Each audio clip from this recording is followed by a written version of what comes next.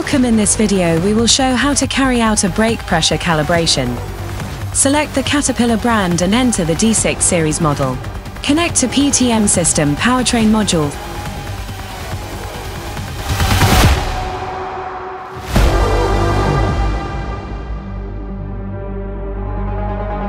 Select calibration, brake pressure, automatic calibration and left brake pressure adjustment.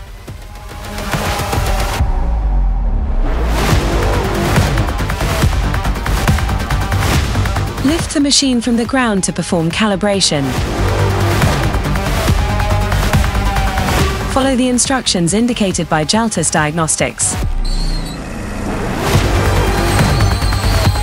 Calibrate brake pressure to achieve an optimum braking point on the machine after changing the components.